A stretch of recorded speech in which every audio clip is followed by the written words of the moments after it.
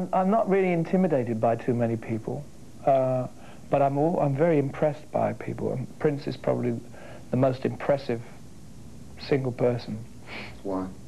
Because he's, he's, he's incredibly inventive, but he's using a lot of old... He's coming from all sorts of areas from the past, and he's re...